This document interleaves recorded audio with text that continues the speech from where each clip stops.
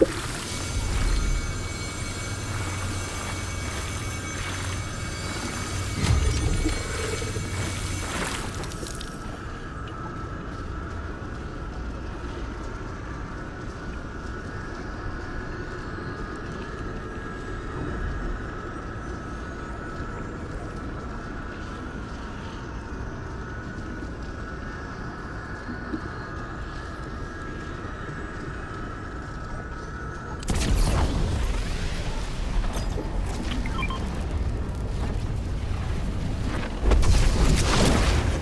I finally got the, the island, Romy.